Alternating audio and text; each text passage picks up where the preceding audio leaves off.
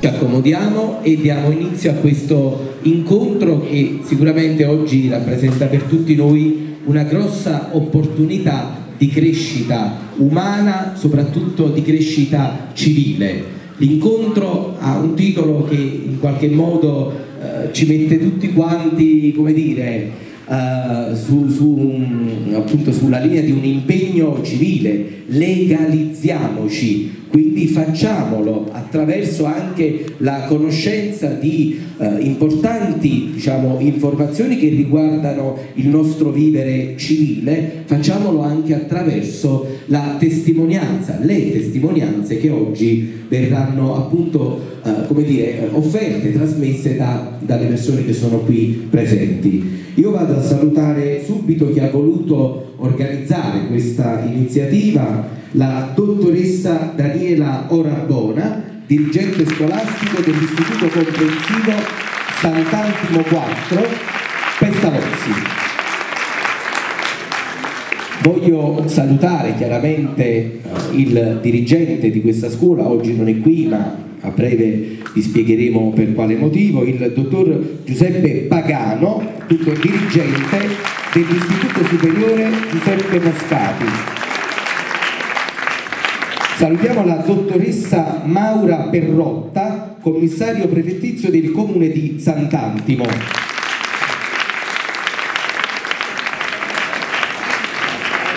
Abbiamo il piacere di ospitare qui questa mattina il dottor Nicola Graziano, magistrato del Tribunale di Napoli.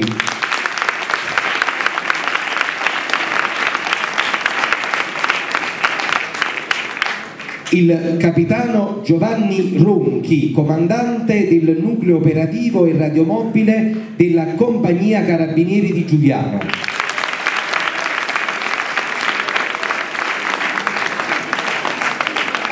Il tenente colonnello Paolo Vatiero dell'Accademia dell'Aeronautica Militare di Pozzuoli.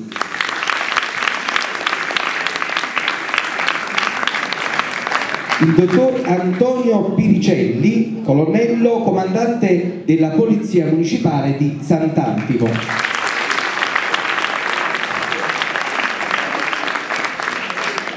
La signora Maria Di Buono, vedova Michele Liguori.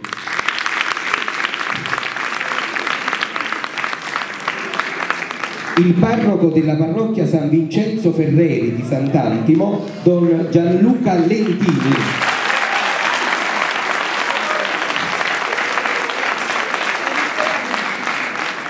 Il dottor Luigi Leonardi, imprenditore anticamorra.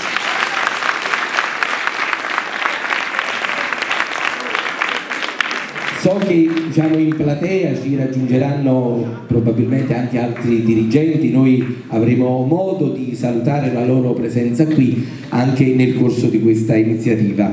Per diciamo, partire subito con i lavori volevo lasciare la parola alla dottoressa Daniela Orabona, la dirigente dell'Istituto dell Siamo con la dirigente del Pestalozzi di Sant'Antimo, la dottoressa Daniela Orabona una giornata dedicata alla legalità, in qualche modo si apre un po' eh, quella che è eh, la stagione diciamo, legata alle attività dell'associazione libera, quindi legata alla lotta alla criminalità, alle mafie e quindi anche alle vittime della criminalità. Un impegno importante da parte della scuola. Certo, il convegno sulla legalità è stato fortemente voluto dai ragazzi, dai nostri alunni, alunni della Pestalozzi, che mh, hanno partecipato in, mh, precedentemente a un convegno sulla Terra dei Fuochi, però noi abbiamo voluto allargare un po' il punto di vista e porre l'attenzione soprattutto sulle condotte da porre in essere. E, mh, e ci rifacciamo e, così ci rifacciamo anche, ci ricolleghiamo anche al bel libro del consigliere eh, Graziano, Parole di libertà libertà in cui si parla praticamente della Carta Costituzionale e quindi in pratica noi vogliamo che la Carta Costituzionale sia la lampada dei nostri passi, quindi che governi le nostre azioni sempre e comunque, quindi poniamo l'attenzione soprattutto sulle nostre condotte che devono essere eticamente e socialmente accettabili e apprezzabili. Quanto è importante l'impegno della scuola dal punto di vista diciamo, dell'impegno civico che viene trasmesso ai ragazzi? Si inquadra appunto in un, uh, contesto più ampio, in un contesto più ampio che è appunto che quello di uh, non uh, di distaccarsi dalla logica della criminalità, ma guardare più che altro, come ho già detto prima, alle nostre azioni quotidiane, a quello che noi possiamo fare. Quindi è un messaggio di positività vogliamo, e di speranza che noi vogliamo tramandare agli altri, che vogliamo trasmettere agli altri. Quindi per citare il titolo della vostra iniziativa, legalizziamoci. Legalizziamoci, sempre. E buongiorno, siamo con il giudice dottor Nicola Graziano, magistrato del Tribunale di Napoli. Oggi qui a Sant'Antimo all'Istituto Moscati per parlare di legalità, farlo anche attraverso una delle sue ultime pubblicazioni, quindi un'occasione importante per parlare ai giovani, parlare ai ragazzi dei nostri territori.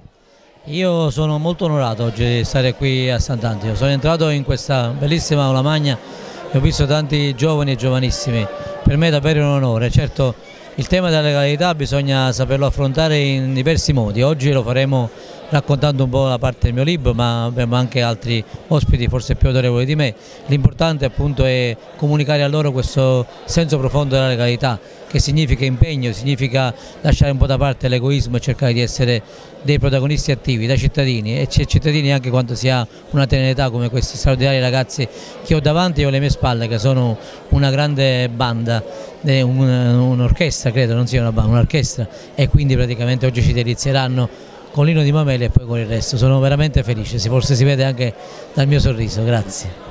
Quanto ritiene importante diciamo, realizzare eventi come quello di oggi dove vengono raccolte testimonianze anche di imprenditori che sono vittime della criminalità, eh, raccogliere anche testimonianze di chi ogni giorno dire, si impegna per eh, garantire la legalità su questo nostro territorio spesso oggetto dire, anche dal punto di vista delle cronache di eventi sicuramente diciamo, eh, difficili. E la legalità si svolge proprio attraverso degli esempi e bisogna essere presenti, secondo me non bisogna mai sottrarsi ed è questa una cosa importante da sottolineare.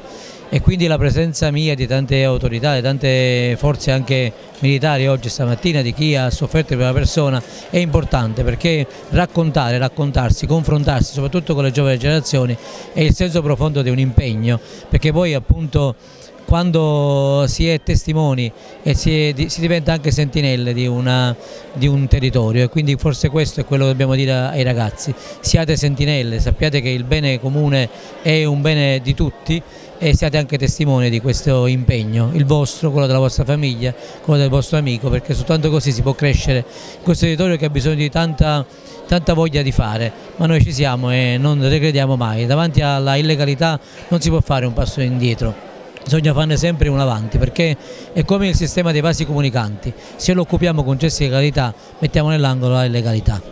Allora siamo col dottor Luigi Leonardi, un imprenditore che oggi porta qui una sua testimonianza rispetto a quello che può essere il problema, il dramma diciamo, della criminalità organizzata su questi nostri territori. Lei in qualche maniera oggi è inquadrato un po' come l'imprenditore anticamorra, anticamorra forse soprattutto perché in qualche modo lascia a questi ragazzi una testimonianza di lotta, di impegno civile.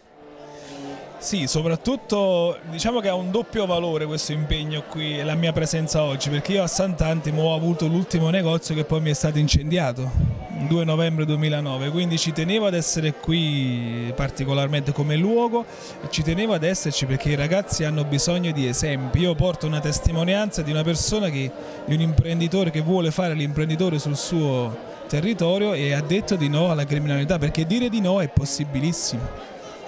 Il messaggio che lascia un imprenditore a un territorio come questo, che spesso è un territorio dove il tema della disoccupazione, della crescita economica in qualche modo si incrocia con i temi della criminalità che è chiaro diciamo, uh, rispetto a tutto questo rappresenta spesso un elemento di blocco della crescita del territorio, un elemento che a volte può addirittura scoraggiare come dire, gli investimenti sul territorio. Lei in qualche modo può dirci qualcosa in merito? Purtroppo sì, nel senso che la presenza della criminalità non ha mai portato benefici, soprattutto dal punto di vista economico. Dove c'è la camorra non, non, non si evolve l'economia del posto. Quindi purtroppo è tutto collegato e la disoccupazione però ci tengo a, a, sottolineare che non deve essere mai una scusa per scegliere di stare dalla parte sbagliata, si ha sempre la possibilità e la, e la scelta di, di, scegliere di stare dalla parte giusta. E lo sviluppo di un territorio deve essere nello sviluppo di un territorio ci deve essere la, la partecipazione della politica, dell'amministrazione, perché Falcone diceva i cittadini non devono essere lasciati inermi a contrastare le mafie e questo deve essere un messaggio chiarissimo, la politica deve fare la, la, sua, la sua parte nel contrastare questa storia e nel dare la possibilità ai giovani di non andare via e di restare sui territori. Di San Maura Perrotta, commissario straordinario qui al comune di Sant'Antimo. Oggi un una giornata dedicata alla legalità, un tema che evidentemente incrocia anche quello che è la situazione oggi sul territorio qui a Sant'Antimo, un tema quindi particolarmente urgente e come dire, eh, lei qual è il messaggio che lascia oggi a questi ragazzi? Allora, oggi siamo qui noi adulti su questo palco per dare un segnale di speranza ma anche di incoraggiamento per un impegno civico e in modo che si possa ehm, costruire una società migliore nel rispetto delle regole. Anche mh, aiutare eh, ad attraversare la strada oppure semplicemente eh, dire ai propri genitori di non lasciare la spazzatura in orari eh, fuori dal, da quelli che sono gli orari prestabiliti, anche questa è legalità. Partiamo dal piccolo, non dobbiamo per forza parlare di contrasto a quella che può essere la criminalità organizzata, ma quella arriva, ci pensiamo anche noi come istituzioni sempre, ma i ragazzi devono partire da questi piccoli eh, gesti per arrivare ad essere degli uomini responsabili in futuro.